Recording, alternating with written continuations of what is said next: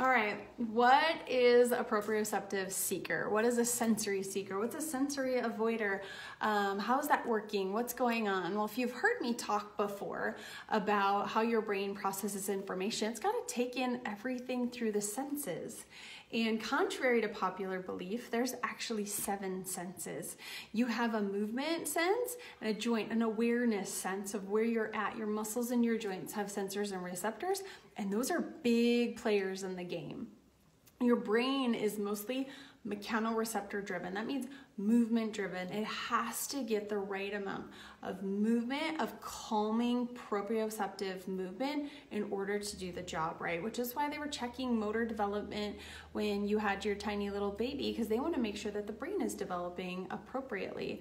Well, this is highly important for it to be able to do the rest of the job that it needs to do. And here's what we look at we want to see how well is that brain taking in information how well is the body moving and organization and coordination really really matter. That's why we take a look at how the head and neck and um, arms shoulders hips um, shoulder blades how their body is oriented because then we know that that's how their brain is perceiving information. That's the limb and joint awareness that they have. We can watch gait, we can watch how they move, how they swing their arms, move their head, move their lips, move their eyes. It's really important that that is sound, that that's smooth, that's a, that that is organized. Otherwise, the brain has to do guesswork. And the last thing it wants to do is guesswork because when it doesn't have proprioception, it has something called nociception. And nociception means noise. It's it's loud, it's unorganized, and it's basically a fill in the blank and it's something that your body and brain does not want. So it's gonna look for proprioception in other ways. And here's what I'm gonna tell you about proprioception. There is a high, high, high amount of dense proprioceptive fibers in your spine. 60%, so that's over half of the proprioceptive fibers to your brain or in your spine. And over half of that, the upper cervical has 33% of those. So a really big deal that your brain is getting the right feedback from your spine. And here's a very interesting part. Your eyes can always see what's in front of you. You're gonna see your hands, you're gonna see your feet, you can see your body move, but you can never see your spine. So your brain relies on those proprioceptive receptors. So your brain relies on what we call the eyes of the spine. They're little stretch receptors or muscle spindles that anytime the, the spine moves appropriately, with the right amount of movement, especially that upper cervical spine, over 33%, like I said, is in that upper cervical spine of all proprioception. That's where the brainstem is, that's where the vestibular tracts are. There's so much happening near that brainstem, it's got to get the right feedback. Um, it's going to rely on that to bend and move appropriately. And if it doesn't, once again, we're in that noisy, nociceptive feedback instead, and your brain's going to look for proprioception somewhere else. And it's going to look for them in a couple different areas that have high dense proprioceptive um, feedback, and that's in the hands, that's in the feet, that's in the groin, and that's in the jaw. So you can just imagine what they're going to do um, or you're going to see with a child who needs a little bit more proprioceptive feedback. They're probably going to be pretty bouncy.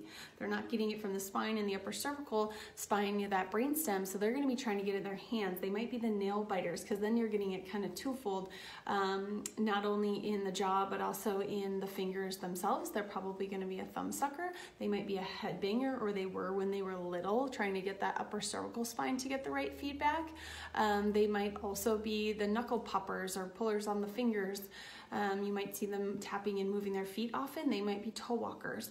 You're gonna watch for some of these indicators that their brain's not getting the right feedback that it needs and it is filling in the blanks. And here's the biggest problem that we see when we're just filling in the blanks the brain is having to do so much guesswork, it really stresses it out. And what we found is that 90% of the brain at any given moment is just doing proprioception. So you if you can imagine it's got to sit and take in its environment. It's really really takes a lot of coordination for us to be able to just stand up, sit down, move in in handwrite, I mean uh, talk there's so much articulation, there's so much that has to happen with those muscle fibers and that feedback to the brain.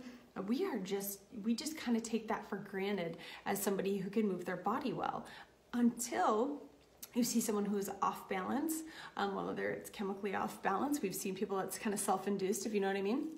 Um, off balance.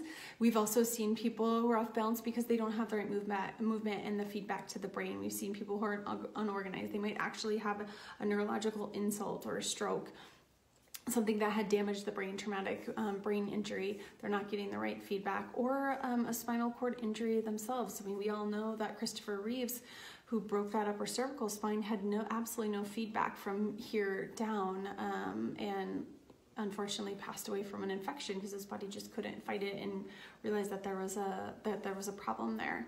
So when your brain is being sucked down by 90% of non not getting what it needs 90% of the time, then it has to fill in the blank with that guesswork, but it also has to run a lot of other parts of our body.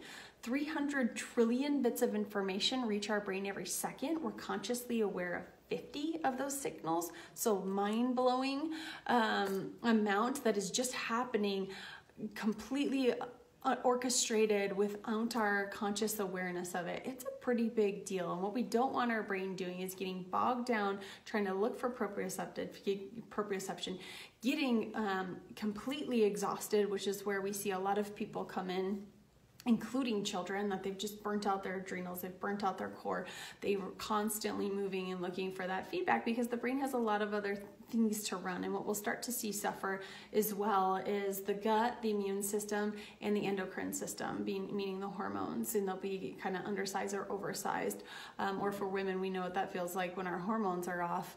Um, menstruation may be off. Everything that we see as far as metabolism and our adrenals and the way we handle our stress can definitely be off and get to that deeper layer of stress. So great things to do. Of course, number one is come get some more education about that. Come to our Perfect Storm. We've got another workshop that's coming up um, here on February 6th. That's going to be an important one to go to to get some more information on that science and how that neurofeedback um, goes to the brain and how it gets dysfunctional in the first place, right? A lot of people are curious about that. Well, why would my brain not be getting the right feedback? Why would not be, and why would it not be moving appropriately?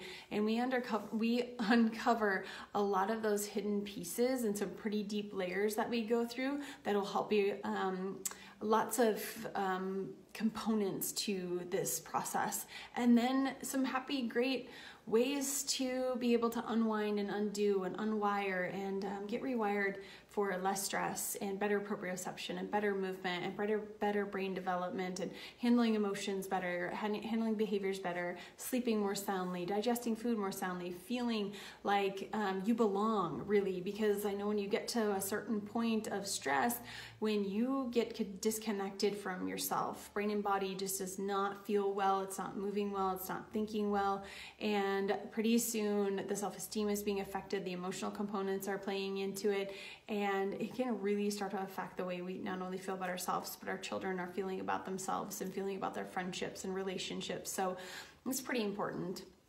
that we've got um, an amazing God given potential that we can reach, and that our kids know that there's nothing wrong with them, that there is a lot of great things that are going on with them that we can make even better and that their brain and body are supposed to be healthy and communicating smoothly and effectively and let's find the best way to be able to do that. So i encourage you guys to come and get some education on that and take the next step and at least learn and engage in that um, conference or workshop that we have or watching a lot more of these videos that we have go on our playlist get on our youtube channel because we're talking about this we're talking about neurological stress so we want to find the cause of this right? We aren't about necessarily about finding tips and tools to manage some of the symptoms which are all great and fantastic and lovely. We want to make sure we get down to the root cause and make sure we help that brain calm self-regulate and be able to heal and be, be healthy. I'll talk to you guys soon